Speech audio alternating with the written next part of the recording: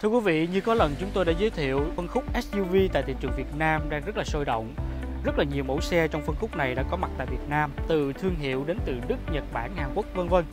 Và trong chuyên mục thử xe ngày hôm nay, chúng tôi lại tiếp tục giới thiệu đến quý vị một chiếc SUV đến từ Đức, đó là chiếc Volkswagen Tiguan. Nhưng đây là phiên bản All Space, tức là phiên bản cơ sở trục dài.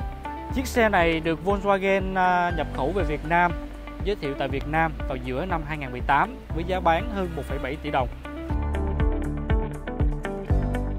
Volkswagen Tiguan On-Space sẽ không khiến bạn phải trầm trồ ngay từ cái nhìn đầu tiên. Xe mang nét thiết kế đơn giản, cân đối, điềm đạm. Đó cũng là lý do Volkswagen Tiguan On-Space phù hợp với nhóm khách hàng mong muốn một chiếc xe gia đình, thích sự rộng rãi và bề thế.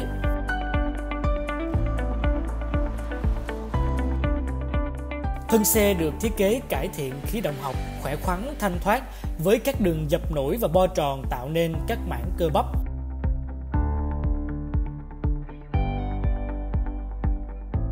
Nhìn từ trực diện, đầu xe tạo cảm giác rộng rãi với các đường nét thiết kế kéo dài theo chiều ngang.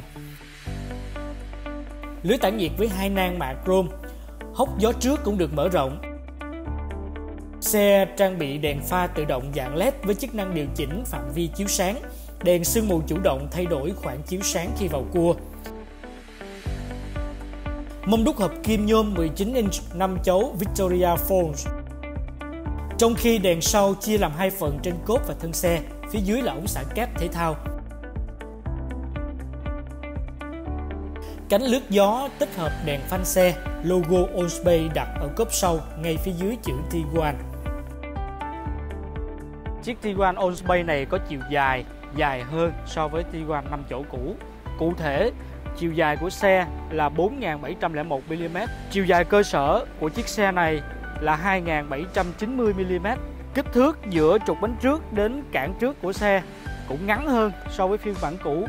Điều này cho phép xe có kích thước vừa dài mà ở trong cái khoang nội thất lại rất là rộng rãi. Bây giờ thì chúng ta sẽ cùng bước vào khoang lái của chiếc xe này để xem nó có gì đặc biệt.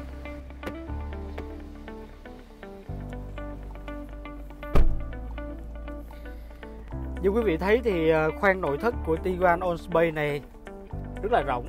Trên tablo táp lô thì cũng rất là ít nút điều khiển, tất cả đều đều tích hợp vào trong cái màn hình cảm ứng 8 inch này và có thể là kết nối Bluetooth tất cả mọi thứ và à, định vị dẫn đường rồi à, kết nối à, CarPlay, Android vân vân. Vô lăng thì là vô lăng bọc da. Đặc biệt là cái vô lăng này nó có thể tự thu lại khi mà có cái va đập. Trên vô lăng thì à, tích hợp các phím chức năng thường thấy. À, lẫy chuyển số cũng được tích hợp trên vô lăng. À, hệ thống mở đèn thì à, lại được tách rời ra và để đặt ở phía bên góc à, tay trái. Một điểm cộng khác ở à, nội thất của chiếc Tiguan Allspace Space này đó là các cái hộc đựng đồ. Các cái hộc đựng đồ rất là rộng và được bố trí rất là nhiều. À, hai bên cửa xe. Ở ngay chính giữa này cũng có hai hộc để đựng nước và ở phía sau nữa. Chiếc xe này cũng được bố trí dàn lạnh à, ba vùng độc lập và đặc biệt là ở hàng ghế thứ hai cũng có một cái dàn lạnh riêng và có cái nút điều chỉnh riêng.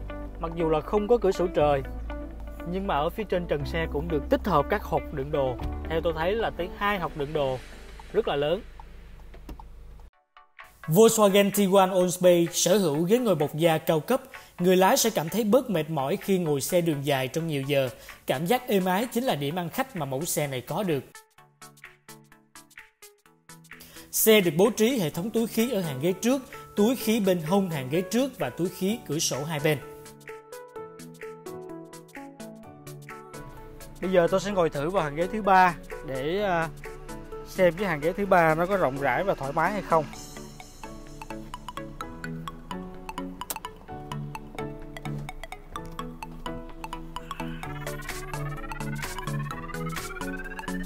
rất là thoải mái thưa quý vị à, bởi vì cái hàng ghế thứ hai ở đây có thể là chúng ta có thể điều khiển uh, trượt lên trượt xuống để giúp cho người ngồi sau có thể thoải mái và ở uh, hai bên ở hàng ghế thứ sau này cũng có những cái hộc để đồ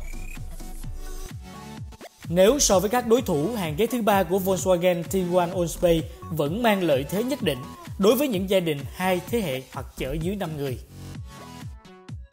thực sự thì anh chạy rất là nhiều xe rồi. À. mà hầu như là cũng thích mấy cái dòng dạng như 7 chỗ hoặc 5 cộng 2 hoặc nói chung gọi là SUV á. À. nhưng mà khi mà mình cầm lái cái con T1 thì mình cảm giác nó rất là chắc. Nó đầm. Ảnh không có giống như những cái chiếc khác. Ảnh đề ba thì như là bắt đầu nó lên từ từ từ từ từ. Chứ nó không phải như những chiếc kia. Mình nhấn cái nó lên khi mà nó bắt chớn được rồi đó là hầu như là cái khả năng vượt của nó cũng không thua mấy chiếc khác đâu. Có vẻ như mình cảm giác lái nó thích hơn. Và nó đầm hơn. Mọi thứ có từ cách âm hay cho tới ờ, động cơ máy. Mặc dù thằng Outlander mình đi cũng hai chấm đó. Nhưng mà hình như nó không có tăng áp. Và cuối tuần gia đình mình đi thì giỏi lắm cũng chừng bốn năm người lâu lâu ví dụ như ở nhà có tiệc tùng gì hay là cần di chuyển thêm người đó hai băng ghế sau nó rất là tiện dụng à. thấy thấy rõ cái điều đó luôn có nghĩa là giờ tự nhiên lâu lâu ví dụ hai băng sau thực sự thì nó nhỏ thôi dạ. nhưng mà vấn đã vấn đề đi mà ở nhà mà full có thêm người nọ là cho mấy đứa nít nó ra phía sau ngồi hết Tiguan Onspace sử dụng động cơ 2.0 lít 4 xi lanh tăng áp TSI, sản sinh công suất 180 mã lực tại 3.940 đến 6.000 vòng một phút, cùng mô men xoắn cực đại đạt 320 Nm tại 1.500 tới 3.940 vòng một phút. Việc đạt được công suất tối đa và mô men xoắn tối đa ở vòng tua thấp giúp giảm tiêu hao xăng và bảo vệ môi trường. Công suất từ động cơ được truyền qua hộp số tự động DSG ly hợp kép 7 cấp Hộp số ly hợp kép là công nghệ được ưa chuộng của Volkswagen, giúp cho việc truyền số êm ái không bị giật và giảm thời gian chờ nên giảm tiêu hao công suất. Hệ thống dẫn động 4 bánh toàn thời gian Formotion đảm bảo độ bám đường tối ưu tăng tốc từ 0 lên 100 km/h chỉ trong 7,9 giây, trước khi đạt tốc độ tối đa là 208 km/h. Động cơ 2.0 lít TSI thế hệ mới tiêu thụ trung bình 7,8 lít xăng trên 100 km ở điều kiện tiêu chuẩn. Xe được trang bị chức năng Eco Start Stop, tự động ngắt động cơ khi xe tạm dừng, giúp giảm thiểu tiêu hao nhiên liệu và khí xả.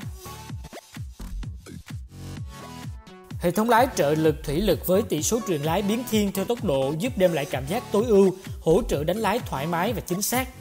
Volkswagen còn trang bị cho Tiguan Allspace hàng loạt những công nghệ tiên tiến như công nghệ chống bó cứng phanh ABS, hỗ trợ lực phanh khẩn cấp BA, chống trượt khi tăng tốc ASR, hỗ trợ thân xe điện tử ESC. Đặc biệt là tính năng phanh đổ điện kết hợp với chức năng hỗ trợ dừng xe, chống trôi xe, auto hold cùng nhiều trang bị an toàn khác.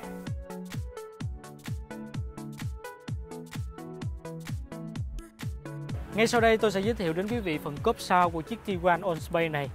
Nếu so với chiếc Tiguan 5 chỗ thông thường hoặc là những chiếc xe SUV 5 cộng 2 khi bật hàng ghế thứ ba lên thì cái khoảng cách từ hàng ghế thứ ba đến cốp sau rất là ngắn. Tuy nhiên đối với chiếc Oldsmobile này thì khoảng cách từ hàng ghế thứ ba đến cốp sau như quý vị thấy rất dài. Còn nếu mà khi gập hàng ghế thứ ba lại thì không gian chứa đồ sẽ rất là rộng rãi. Điểm đặc biệt thứ hai nữa là uh, phần cốp sau này có chức năng nhớ vị trí điều này rất là thuận tiện cho những người có cái chiều cao khác nhau à, có thể là không cần phải với tay hoặc là à, chúng ta set up ở một cái vị trí nào đó để không phải cốp xe không phải đụng đầu của mình.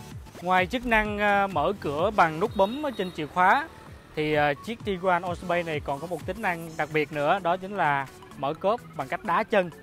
À, điều này rất là thuận lợi khi mà quý vị mang vác những vật nặng nề hoặc là sách hành lý à, cồng kềnh. Chúng ta không thể trực tiếp mở vào cốp xe.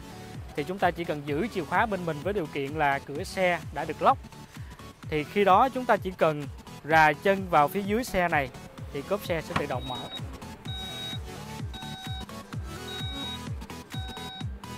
Thể tích cốp khi có hàng ghế thứ ba là 230 lít, khi gặp hàng ghế thứ ba, thể tích khoang hành lý lên đến 700 lít. Hàng ghế thứ hai bố trí theo tỷ lệ 40 20 40, có thể trượt trước sau khoảng cách 177 mm và gập. Khi gặp hàng ghế thứ hai thì thể tích tổng cộng sẽ lên đến 1775 lít. Xe có 8 màu ngoại thất gồm đen, trắng, xám, nâu đồng, xanh dương, xanh lục, đỏ và cam cùng màu đen nội thất.